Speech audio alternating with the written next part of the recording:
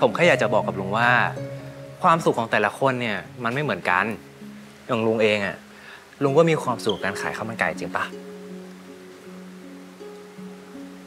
ลีหมิงเองอะนะเขาก็คงมีความสุขกับการที่เขาเนี่ยได้เลือกชีวิตของเขาอะ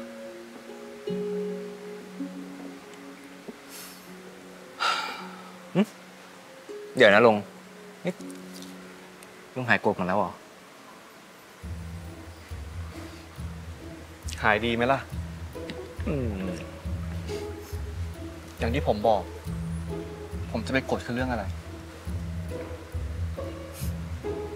ก็ดีลุง ถ้าเกิดลุงยังไม่หายกรธผมอะนะ ผมก็จะ จะ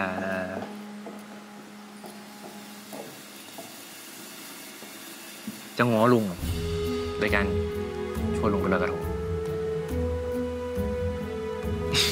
ลุงรอผมแป๊บนึง เดี๋ยวไปซื้อกระทงก่อนคุณอยู่นี่แหละ เดี๋ยวผมจัดการ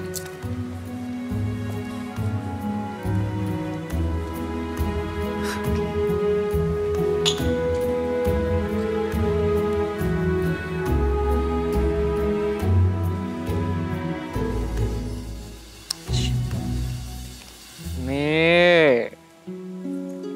กระทงกูนาดา